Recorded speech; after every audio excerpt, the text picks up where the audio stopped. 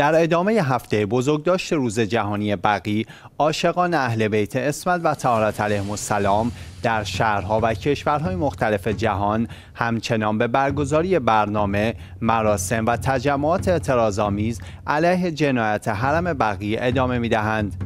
در همین راستا دفاتر آیات ازام و مراجع تقلید در شهر مقدس قوم، نجف اشرف و شهر مقدس کربلا طی روزهای گذشته شاهد برگزاری مراسم بودند.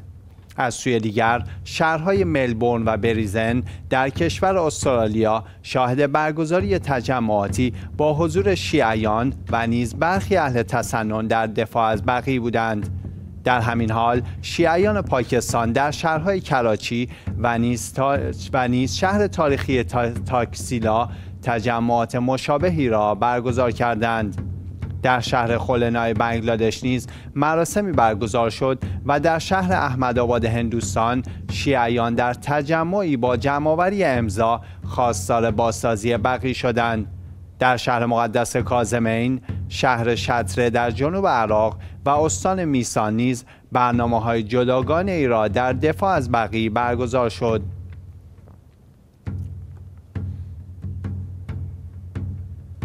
باب امام رضا علیه السلام در حرم متحر علوی روز گذشته با حضور جمعی از متولیان و خادمان حرم امیرالمؤمنین علی علیه السلام و مسئولان مختلف در نجف اشرف رونمایی شد. باب امام رضا علیه السلام در حرم امیرالمؤمنین علیه السلام حدود یک سال بسته شده بود تا عملیات بازسازی این ورودی صورت گیرد که این امر توسط هنرمندان عراقی انجام و رونمایی شد. البته بخشی از طلاکاری آن را ایرانیان بر عهده داشتند.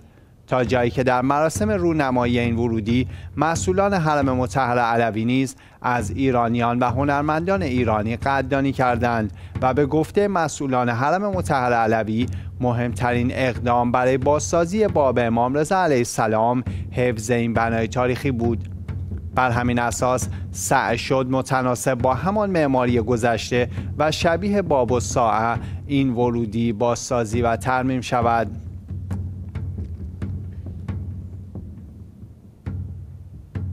رئیس جمهور ترکیه با ظاهر شدن بر صفحه تلویزیون از کشته شدن سرکرده داعش طی عملیات عوامل اطلاعاتی در سوریه خبر داد.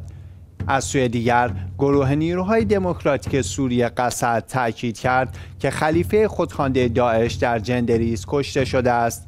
فرهاد شامی مسئول مرکز رسانه قصد در توییتی نوشت که ابو حسین القریشی خلیفه خودخوانده داعش در یک مرکز نظامی وابسته به گروه احرار از شرقیه در جندریس در افرین کشته شد. به نقل از میدلیست شامی ادعا کرد که هیچ اتفاق جدیدی رخ نداده بلکه مأموریت یکی از عناصر داعش که اطلاعات ترکیه از آن در افرین حمایت می کرد به پایان رسیده است. گفتنی است. بسیاری از سرکردگان داعش طی دو سال اخیر به هلاکت رسیدند.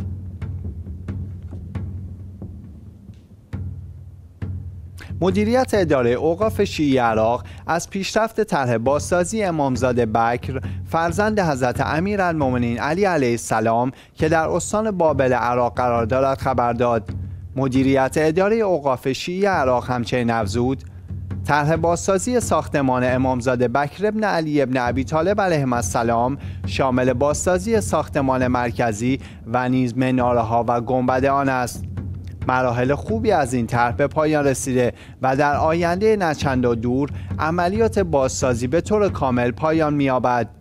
گفتنی است مزار این امامزاده مانند بسیار از دیگر بقعه های متبرکه در عراق همواره از سوی شیعیان و عاشقان اهل بیت اسفل و تعالت علیهم السلام مورد توجه بوده و در مناسبت های دینی جمعیت زیادی به زیارت این اماکن می روند.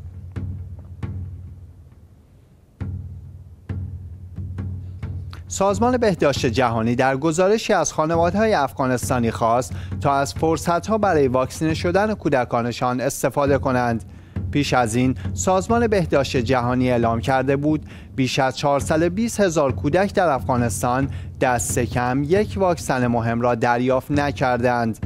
این سازمان به خانواده های افغانستانی تاکید کرد با دادن دو قطره واکسن فلج اطفال می توان از شیوع ویروس این بیماری جلوگیری کرد.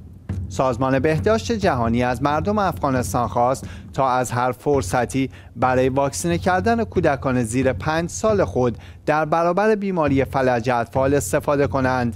اگرچه در سال جاری هیچ مورد مثبت فلج اطفال در افغانستان ثبت نشده اما مقامات حوزه شرقی افغانستان می‌گویند که ویروس فعال این بیماری در محیط زیست دیده شده است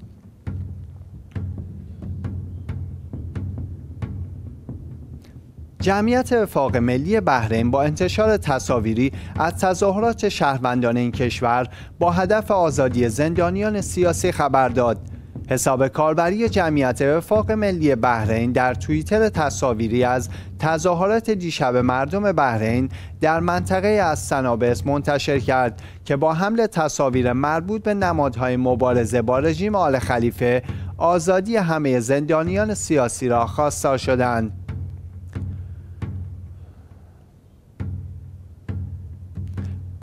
خانه حراج معروف لندن آثار هنری کمیاب اسلامی به ارزش چند میلیون پوند را به فروش میرساند.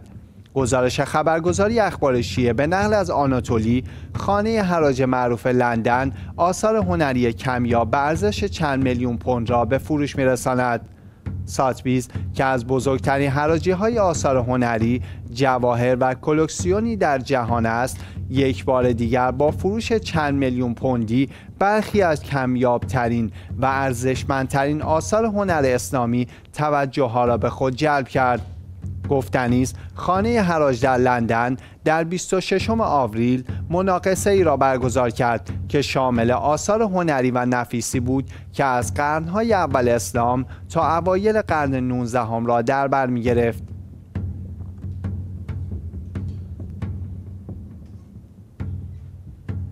روزنامه گاردین طی گزارشی نوشت پزشکان و دانشمندان بریتانیایی هوش مصنوعی را برای تشخیص مؤثر سرطان آموزش دادند. هوش مصنوعی تعیین می کند که آیا توده غیر طبیعی که در سی اسکن تشخیص داده می شود بدخیم است یا خیر؟ به گفته نشریه او این کار را با کارایی بالا انجام می دهد که در آینده ممکن است به تشخیص سرطان در مراحل اولیه کمک کند.